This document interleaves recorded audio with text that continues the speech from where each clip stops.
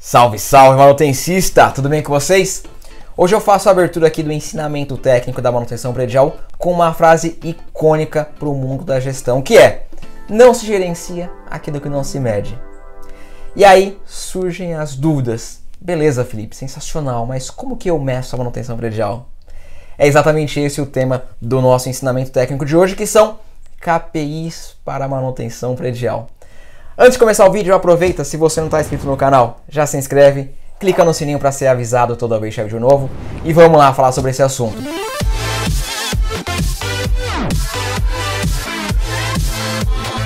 KPI é uma sigla para Key Performance Indicator, que é um indicador-chave de desempenho ou somente indicadores.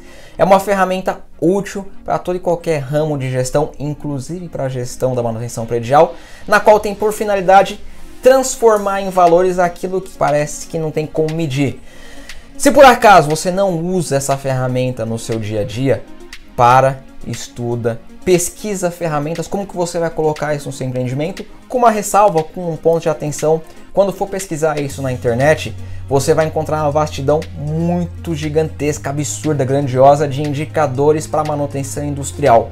Alguns sim fazem sentido você colocar na manutenção predial, como por exemplo Decklog, mas não são todos. Então, cuidado porque às vezes você pode ver um indicador e não saber como utilizar na manutenção predial, mas não se desespere é porque realmente não tem como utilizar. São dois tipos de manutenção diferentes. Algumas coisas sim se conversam, como por exemplo, obviamente, o backlog, como citado anteriormente, mas não é tudo. É interessante que se você for fazer isso no seu prédio, e eu aconselho que sim, que implantem os KPIs e os indicadores, da forma mais simples de dizer, mas com esse cuidado aqui para não fazer uma coisa muito estonteante, muito absurda e depois no dia a dia, no gerenciamento, ao invés de facilitar, acabar piorando a sua gestão. Beleza?